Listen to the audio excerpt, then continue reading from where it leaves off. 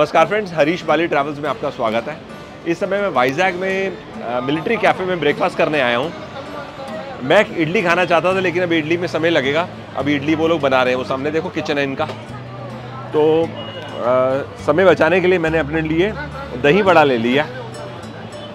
यहाँ पर ना बैठ कर खाने का सिस्टम नहीं है। तो आ, अंदर से आप कूपन लो और ऐसा टेबल्स लगे हुए आप खड़े होकर नाश्ता कर लो।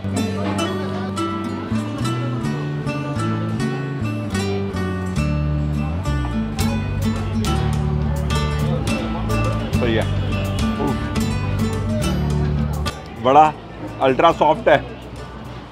और साथ में सरसों, हरी मिर्च, लाल मिर्च का तड़का, लवली। यहाँ पे सिस्टम ये है।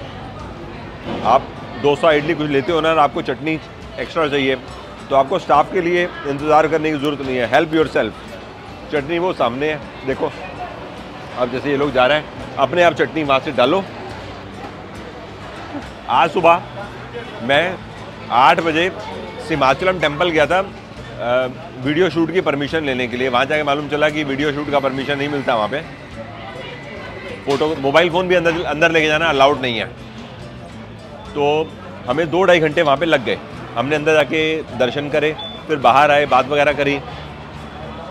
तो अब 11 बज चुके हैं। आज मैंने 11 बजे का मीटअप भी रखा हुआ था तो 15-20 मिनट में लेट हो जाऊँगा पहुँचने में। तो बस नाश्ता फिनिश करते हैं। और फिर अपने होटल चलते हैं, वहाँ पर कुछ सब्सक्राइबर्स आए होंगे, उनसे मिलते हैं।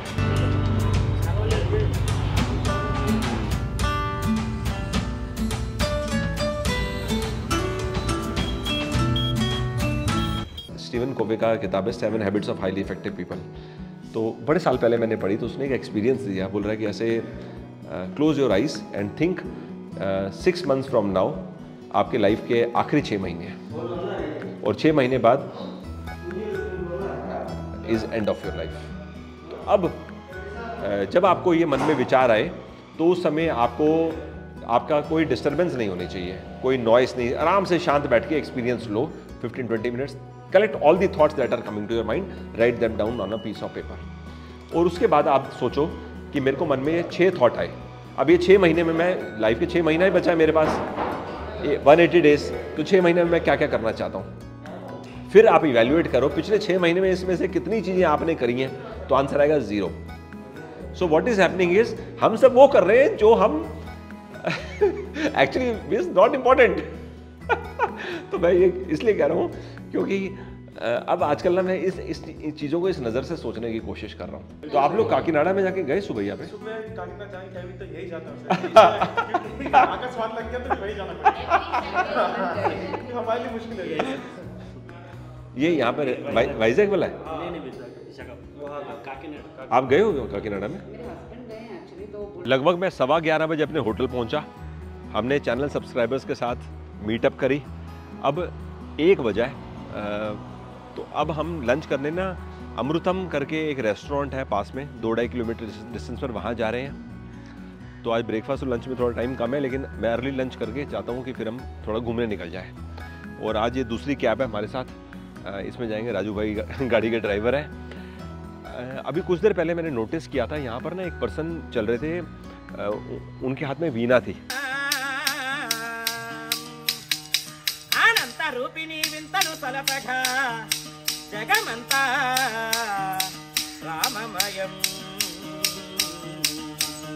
तो वो प्ले कर रहे थे और मैंने फिर किसी से पता लगाया बोल रहे हैं कि पोंगल का जो टाइम है ना ये ऐसा चलते रहते हैं पूरा पूरा दिन और भगवान का भजन करते हैं। बड़ा अच्छा लगा सुनकर और देखकर। आइए, चले।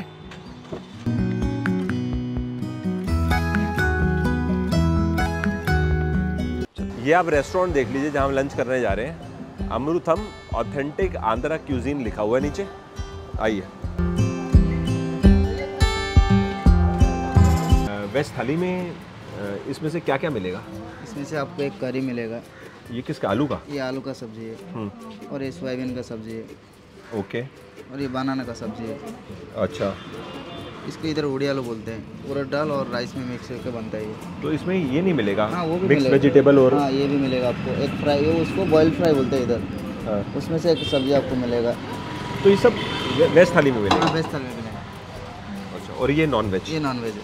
तो यानी मील आप पहले तैयार कर लेते हो फिर जैसा जिसको हाँ जिसको जैसा चाहिए सही है। तो हमारे को आप वेज थाली दे दो।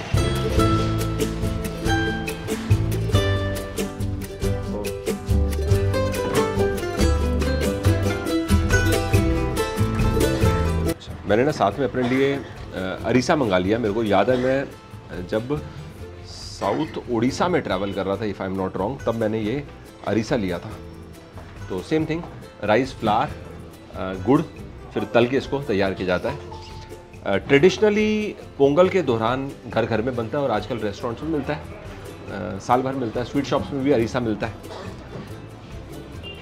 टैमरिंड राइस पापड़, दाल मिक्स वेजिटेबल कैबेज और गाजर और साथ में बैंगन और लौकी, साथ में दही।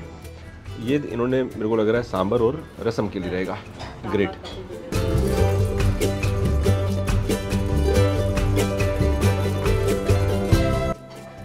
राइस बड़ा मज़ेदार टेस्ट है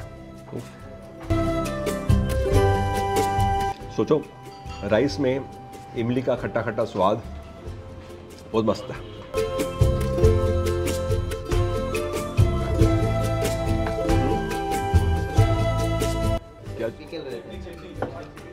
अच्छा।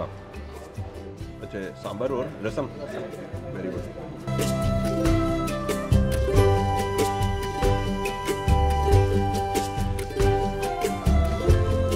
इसमें ना, इमली की खटास है, बहुत ज़्यादा काली मिर्च है, और ओवरऑल तीखा है। अब मुझे एक चीज़ समझ में आई कि मैंने कल जो नोटिस किया था, कुछ लोग ना रसम को राइस में मिक्स करके खा रहे थे ना तो उससे मेरे को हिंट मिली कि यहाँ पर राइस में मिक्स करने से ना, ये टेस्ट बैलेंस हो जाता है। अदरवाइज़ केवल रसम को ऐसा हम पी लेंगे ना तो बहुत ज़्यादा तीखा लगेगा गले में।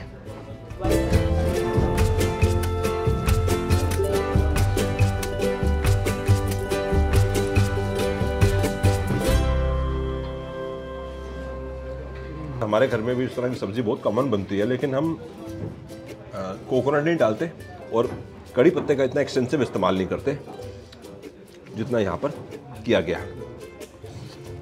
नाइस टेस्ट ये ना अचार है। मुझे इन्होंने बताया, इसको बोलते हैं रोटी पचड़ी। और ये बनता है तुरई से।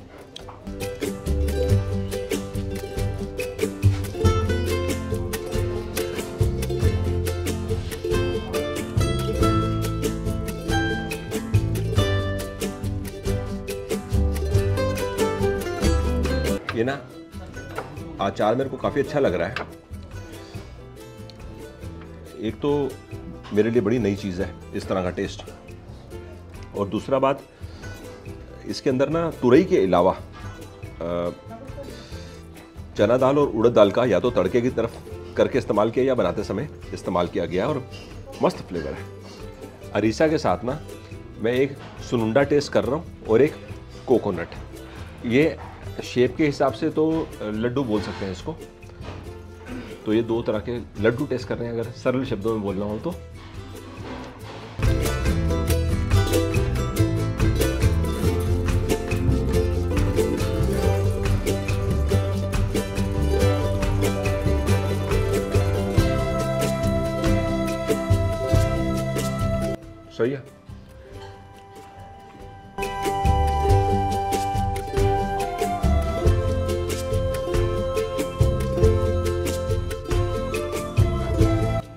मज़ेदार है। उड़द दाल से इसको तैयार किया गया। और थोड़ी सी चीनी, थोड़ा सा गुड़। कोकोनट का लड्डू है ना, ये मेरे को काफ़ी स्वाद लगा। बहुत जूसी है। कोकोनट, गुड़ और घी। मीठे मेरे को सबसे ज़्यादा स्वाद लगा है कोकोनट का लड्डू। ये भी सही है लेकिन हार्ड है।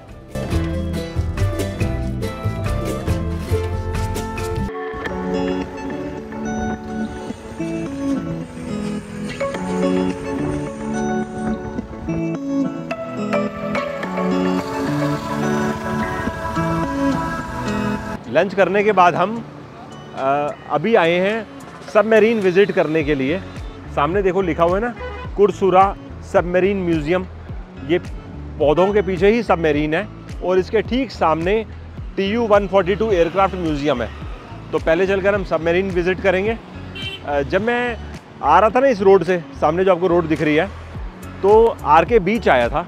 तो आर के बीच के आगे से जब हम निकल रहे थे, इतना प्यारा सीन लग रहा था लेफ़्ट हैंड साइड को बीच, बढ़िया सी रोड और मतलब एक बड़ा सूदिंग फीलिंग आ रही थी। तो मन तो हुआ कि वहाँ पर कुछ देर रुक जाए, फिर हमने सोचा एक काम करते हैं।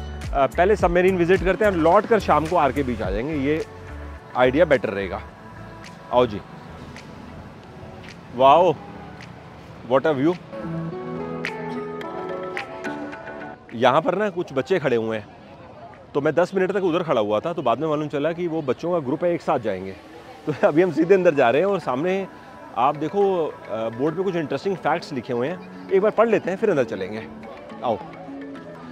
सबमरीन की कमीशनिंग 1969 में हुई डी कमीशन 2001 में हुई। वेट के बारे में लिखा, देखो कितना ज़्यादा वेट है 1945 tons oh god number of torpedoes वो गाजी फ़िल्म में देखा था ना टॉर्पीडो फायर करो 22 लास्ट टैंक्स 10 ज़बरदस्त। ये तो मतलब पढ़ के आपको काफ़ी कुछ मालूम चल जाएगा। Fuel capacity 439 tons look at this anchoring depth 60 metres length of anchor chain 176 metres सही है? आओ, अंदर चलते हैं और अंदर चल के सबमेरीन विज़िट करते हैं।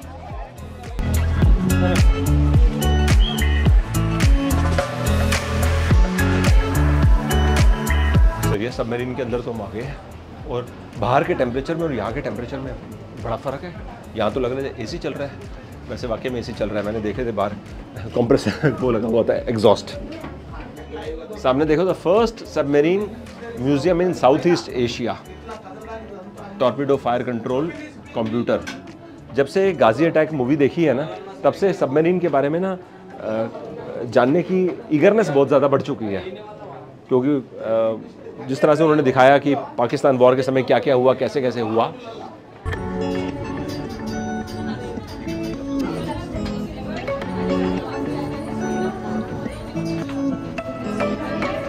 अभी ना मालूम चला है कि कोरोना से पहले यहाँ पे जो गाइड होते थे ना, उनकी कोरोना के दौरान डेथ हो गई है। तो इस समय यहाँ गाइड कोई नहीं है। आपको खुद ही सबमरीन घूमते घूमते चीज़ों को समझना पड़ेगा। कोई बात नहीं, साथ चलते हैं। आगे चलते हैं और जो जो देखेंगे, आपको दिखाएँगे। सिस्टम देखो कैसे हैं।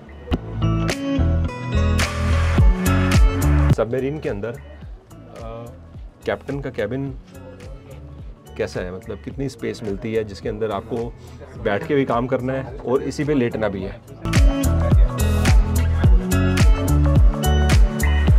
और साथ में अपनी यूनिफॉर्म भी टांगनी है। मतलब लिमिटेड स्पेस के अंदर ही हर किसी को मैनेज करना होता है। इतना तो यहाँ पर हम देख के समझ रहे हैं, क्योंकि बाहर लिखा था क्रू साइज़ कितना 72 या 122 लिखा था, मेरे को ध्यान है।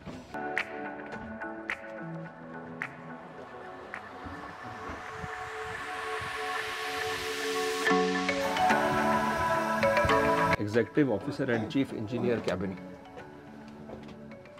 I really wish कि कोई हमें गाइड कर देता फ़ंक्शंस को समझने में तो और अच्छा हो जाता। अब जैसे ट्रिम इंडिकेटर है, लेकिन अभी हमें क्या पता इसका क्या फ़ंक्शन है।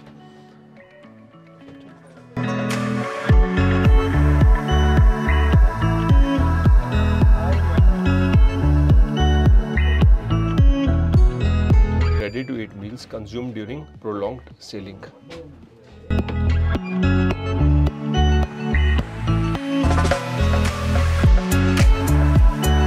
कहाँ कहाँ चीज़ें स्पेस को कैसे मैनेज किया जाता है, अब इसको देख के आप समझ सकते हो।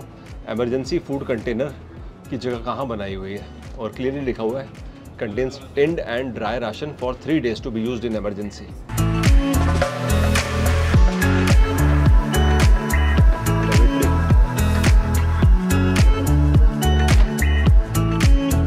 submarine के अंदर आके ना मैं अंदाज़ा लगाने की कोशिश कर रहा हूँ सेलर्स के लिए लाइफ कितनी टफ होती होगी? अब सोचो आप आप अंडर सी हो।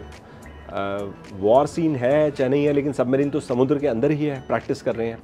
तो उस समय रात के चाहे दो बजे हों, चाहे दोपहर के दो बजे हों, आपको अंदाज़ा नहीं होगा क्योंकि हर समय वातावरण आपका एक जैसा ही है। आप वही मशीन्स अपने आसपास देख रहे हो। सिर्फ़ अपने ऊपर लगा बल्ब को बंद करो और आप सो जाओ अगर आपको रेस्ट लेना है मतलब आपका ड्यूटी टाइम उस हिसाब से है। एक लिमिटेड स्पेस के अंदर आपको मैनेज करना है। जैसे गाजी फ़िल्म में उन्होंने दिखाया था कि सबमेरीन 100 मीटर्स सी के नीचे गई तो स्टेबिलिटी लेवल हाई थी, फिर 200 मीटर्स तक भी बनी हुई थी, लेकिन 300 मीटर जब नीचे अंडर सी टच किया तो उसका स्टेबिलिटी लॉस हो गया। ऐसा, अगर आपने फ़िल्म नहीं देखी तो आप ज़रूर देखिए गाजी अटैक तो इस सबमेरीन की जो मैक्सिमम कैपेसिटी है वो 280 मीटर्स है, ऐसा बाहर हमने लिखा हुआ पड़ा। और इतने बड़े क्रू के साथ चलना और स्पेस अब मान लीजिए ये सब कंपार्टमेंट्स भी अगर बन जाएँ इस प्रकार से जैसे ये तीन लोग यहाँ सो गए ऐसा करके होगा भी तो मे बी मैक्सिमम कितना 15 18 पीपल और बाकी सब लोगों को तो अंदर का स्पेस में ही मैनेज करना होगा। सीरियसली यहाँ पर आके ना अ, अच्छा तो लग रहा है लेकिन at the same time sailors की डिफ़िकल्टी लेवल के बारे में मैं सोच रहा हूँ कि जीवन उनका कैसा रहता होगा। अब हम चलते चलते ना सबमेरीन के एंड तक आ ही चुके हैं। अब वहाँ से हमने एंट्री की थी। अब यहाँ एंड है। टोटल सबमेरीन की लेंथ 91 मीटर्स है। बे ऑफ़ बंगाल बाहर।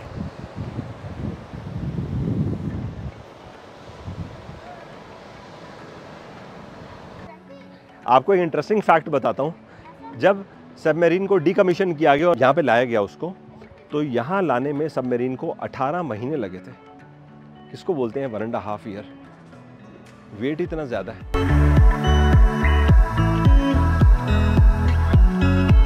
चलो, थोड़ा बाहर से देखते हैं।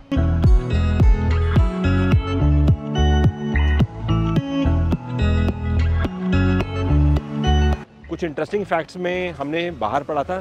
क्रू इसके अंदर 72 इसकी मैक्सिमम कैपेसिटी है। कि 72 क्रू मेंबर्स एक बारी में सफ़र कर सकते हैं। सबमरीन पानी के सरफेस के अंदर 48 आवर्स तक रह सकती है और सी में कंटिन्यूसली 60 डेज़ तक रह सकती है। कि मेन प्रॉब्लम देखिए स्केयर्स फ़ूड और स्केर्स वाटर की है। अब 72 लोग जो इसमें सफ़र कर रहे हैं उनके लिए खाना भी बनेगा पानी वहाँ भी लगेगा। अ, उसके बाद स्कोप नहीं बचता कि वो लोग नहा सकें। तो क्योंकि अंदर दो दो टॉयलेट है वहाँ भी पानी कंज्यूम होगा। तो नहाने के लिए स्कोप नहीं होता तो क्रू नहा नहीं पाता उन दिनों में जब सबमरीन सेल कर रही होती है। सामने चलते हैं, एयरक्राफ्ट देखते हैं। और आपको मैं ये बताना चाहता हूँ 1971 में जब इंडिया पाकिस्तान वॉर हुई थी, तब ये सब सबमरीन वॉर में गई थी। मतलब वॉर में इसने पार्टिसिपेट किया था।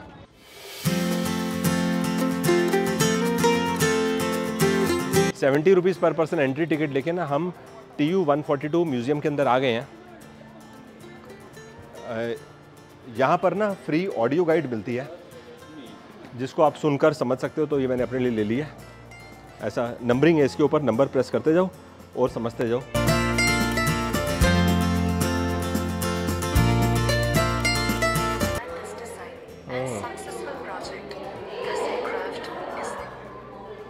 ऑडियो गाइड में जो हम सुन रहे हैं ना ये एग्जैक्टली exactly वही चीज़ है जो यहाँ पर लिखी हुई है। सिर्फ़ एडवांटेज ये है कि ऑडियो गाइड हिंदी में भी है अ, लेकिन यहाँ पे लिखा केवल इंग्लिश में है। ये फ़र्क है। अ, जो T U one forty two aircraft है ना ये इनके नाम पे एंड्रयू टुपोलेव के नाम पे। इसके बाकी मॉडल्स के बारे में मालूम है इसी सीरीज़ में और जो मॉडल्स हैं बाकी डिटेल्ड इन्फॉर्मेशन साथ में आगे बढ़ते हैं चलो देखते देखते technical specifications training zone T U one forty two को ना अंडर वाटर जो सबमरीन्स हैं, उनको टारगेट करने के लिए डिज़ाइन किया गया इसके बारे में यहाँ पर सामने इन्फॉर्मेशन है। और ये इन्होंने एक मॉडल बनाकर दिखाया हुआ है कि जैसे पानी के नीचे सबमरीन्स होती हैं सोनो बॉयज़ कैसे उनको आइडेंटिफाई करते हैं और ऊपर से बॉम्बिंग करते हैं और सबमरीन को टारगेट करते हैं।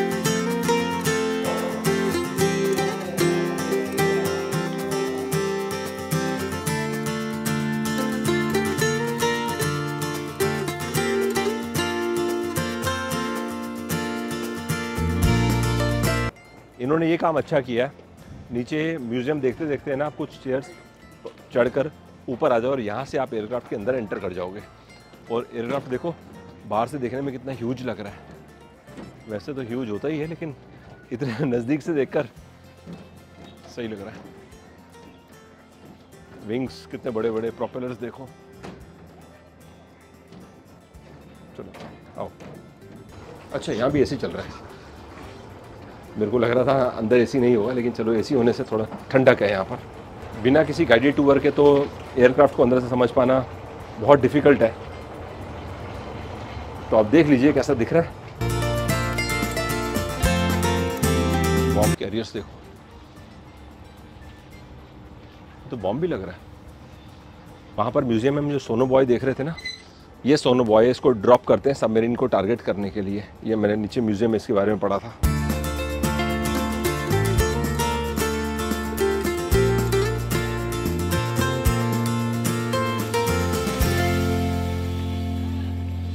T U one forty two को अंदर की तरफ़ देख के अभी हम बाहर की तरफ़ आ चुके हैं। ये तो गोज़ विदाउट सेइंग कि आप वाइजैक आएँगे तो यहाँ पर आपको आना ही चाहिए।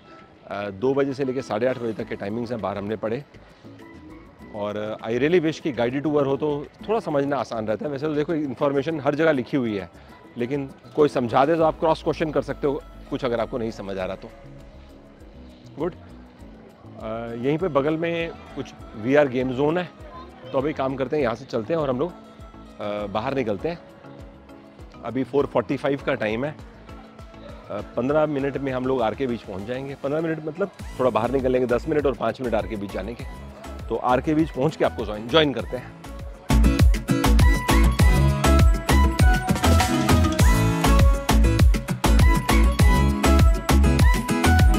आर के बीच के पास हम पहुँच गए हैं। सामने नोवेटल, आप होटल देख रहे हैं? इसके सामने हमने गाड़ी खड़ी करी है और ये सी बीच साइट है। साइड यहाँ से नहीं, सी बीच तो वहाँ पर है, लेकिन पहले समुद्र का किनारा देखते हैं। वाओ, सही लग रहा है ना? देखो, इस समय ना सन वहाँ पर है, वो। और सनराइज़ अगर आपने देखना है तो सनराइज़ वहाँ से होगा, उस जगह से। मैं पिछले तीन दिन से रोज़ कोशिश कर रहा हूँ कि थोड़ा जल्दी उठूँ, लेकिन थोड़ा पंद्रह मिनट, आधा घंटा लेट हो जाता है, फिर सनराइज़ देखने का आइडिया मेरा ड्रॉप हो जाता है। अदरवाइज़ आर के बीच साइड अगर मॉर्निंग में आएँगे तो अच्छा सनराइज़ देखा जा सकता है। कहीं पर भी समुद्र किनारे आकर अगर आप इंजॉय करना चाहते हो, सबसे बढ़िया टाइम या तो अर्ली मॉर्निंग का होता है सनराइज़ के बाद का एक घंटा, या फिर शाम को सनसेट से पहले का एक घंटा। लेकिन अब चक्कर क्या है? शाम के समय अगर आप आते हो ना तो हर बीच क्राउडेड हो जाता है स्पेशली वो बीच वो बीचेस जो सिटी के बीच में होते हैं और नज़दीक होते हैं। जैसे इस समय आर के बीच में आप देखो बहुत क्राउड है और आज तो वीकडे है। अगर सैटरडे संडे होगा तो इससे भी ज़्यादा रहेगा। चलो फिर भी थोड़ा सा वॉक करते हैं उस तरफ़ और थोड़ा समुद्र किनारे टहलते हैं। एक चीज़ और बड़ी इंपॉर्टेंट है यहाँ पर ना पानी के अंदर जाना सेफ़ नहीं है। हम लोग ऋषिकोंडा बीच गए थे अ, कल के दिन। वहाँ पर लोग पानी में जाके इंजॉय कर रहे थे। एटलीस्ट थोड़ा 20-25 फीट तक तो जा ही रहे थे। लेकिन यहाँ पर तो लिखा गया है, अंदर मैंने पीछे बोर्ड बड़ा लिखा हुआ था, पानी के अंदर जाना, काटा नॉट अलाउड प्रोहिबिटेड यहाँ पर जो रॉक्स है ना, ये फोटोग्राफी पॉइंट है। मैं काफ़ी देर से नोटिस कर रहा हूँ, लोग बैठ कर खड़े होके डिफरेंट एंगल से फोटोग्राफी कर रहे हैं। और ये बीच वाइजैक का सबसे ज़्यादा पॉपुलर बीच है। और शाम के समय जितने भी टूरिस्ट आते हैं जो आर के बीच के पास रुके हों, चाहे ना रुके हों, शाम के समय यहाँ पर आके समय बिताते हैं। सही है। चलो पाँच दस मिनट थोड़ा टहलते हैं, फिर हम यहाँ से चलते हैं।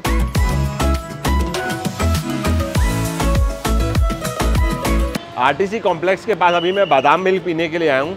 ये शॉप का नाम आप सामने पढ़ लो, क्या लिखा है? New Shri Shivaram sweets. आइए, अंदर चलते हैं। मुझे ना इनपुट आया था कि आप यहाँ का बादाम मिल्क ट्राई करो, आपको पसंद आएगा। तो मैंने कहा आज का डे एंड करने से पहले बादाम मिल्क टेस्ट कर लें।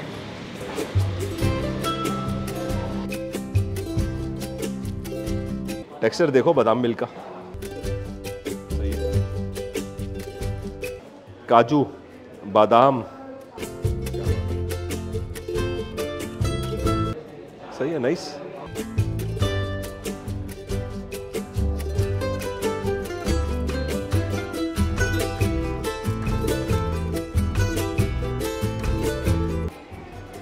अच्छा टेस्ट है। काजू के छोटे छोटे पीसेस पिसा हुआ बादाम और दूध की quality very good fifty rupees इसकी कीमत है। बादाम मिल्क इन्होंने पहले से रेडी करके रखा हुआ है। नाइस वेरी टेस्टी अभी देखो, मौसम बहुत ज़्यादा गर्म नहीं है, क्योंकि हम अभी जनवरी मंथ में हैं।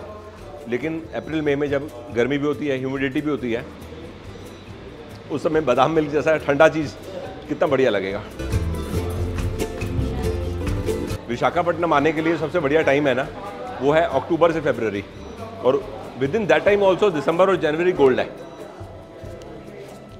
दोपहर में वुलेंस की ज़रूरत नहीं है, शाम को वुलेंस की ज़रूरत नहीं है। जैसे मैं भी चल रहा हूँ, इसी तरीके से आप दिसंबर जनवरी मंथ में चल सकते हो। ये है कि सुबह अगर आप अर्ली मॉर्निंग साढ़े पाँच बजे बीच बीच साइड जाओ तो हो सकता है उस समय आपको हाफ़ स्लीव स्वेटर की ज़रूरत पड़े वो भी सिर्फ़ एक घंटे के लिए साढ़े पाँच से साढ़े छः अदरवाइज़ नहीं। अभी आज थोड़ा सनसेट के बारे में वैसे ही बता देता हूँ। आज सनसेट 540 का था तो हम बीच किनारे खड़े हुए थे। तो अब कितना फ़र्क पड़ जाता है? देखो sun rises from the east and sets in the west तो मैं ऐसा देख रहा था फॉर क्यूरोसिटी पर सेक कि मैंगलोर में सनसेट आज कितने बजे का है तो मेरे को टाइम दिखा। अ, कितना 540 फोर्टी, यहाँ था छः बज के बाईस मिनट का तो यानी 42 मिनट का फ़र्क हो गया ना। तो हमारे देश के अंदर ही एक कोस्ट साइड से लेकर दूसरी कोस्ट साइड तक का सनसेट के अंदर 40 मिनट का फ़र्क आ गया। ये वैसे मैंने आपको वैसे बता दिया। बाकी यहाँ पर और भी बहुत कुछ अवेलेबल है। अभी मेरे को भूख नहीं है। लंच आज मैंने लेट किया है। तो मैं बादाम मिल्क ही पीने वाला हूँ। मतलब कुछ और नहीं खाने वाला यहाँ पर। अब हम यहाँ से चल रहे हैं। अपने होटल पहुँच के आज का दिन हमारा एंड हो जाएगा। कल भी हम वाइजैग में ही हैं और उसके बाद हमें अरकू रहे हैं। मतलब परसों हम अरकू जा रहे हैं। आज का ये छोटा सा एपिसोड यहीं पे एंड हो रहा है। आपको बाय बाय कर देते हैं। Thanks for your time